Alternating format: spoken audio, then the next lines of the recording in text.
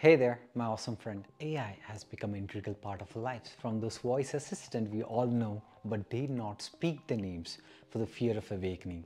They who must not be named, responding to our every command, to recommendation systems that helps us discover new things.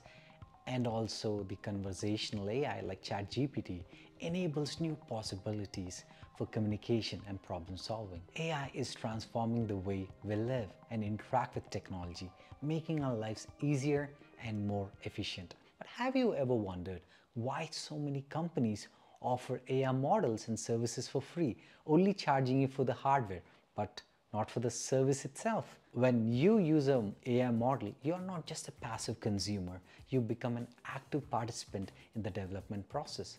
So why is that? Well, the AI models are trained using vast amount of data. The more diverse and extensive the data, the better the AI model becomes. Your interactions, queries, and feedback help the AI system learn and adapt.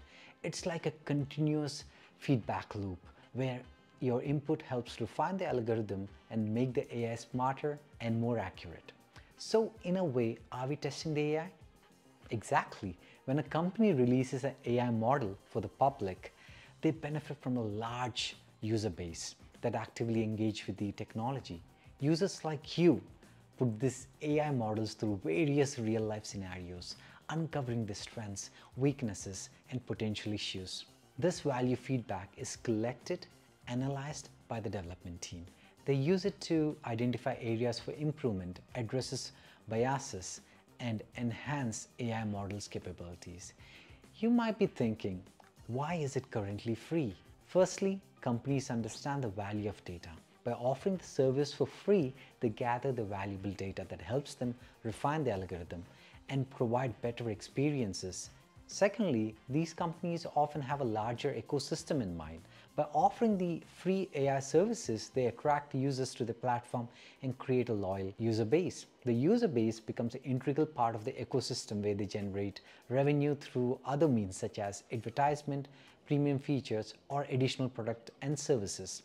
Offering AI services for free is also a strategic move to stay ahead in the competitive market. By eliminating the barrier of entry in terms of costs, companies can quickly gain widespread adoption and establish themselves as a leader in the AI space. Another reason behind this is that these companies are still in the infancy stage of AI development. They are using our interactions to train their models and make them better. But in future, I believe this could change as the AI continues to evolve and becomes more advanced. It's reasonable to expect the companies will start charging for their perfected AI models. They invested significant resources in research, development, and infrastructure. And once these models reach their full potential, they might transition to a subscription-based model. So the next time you use an AI model for free, remember that your involvement goes beyond simply benefiting from its feature.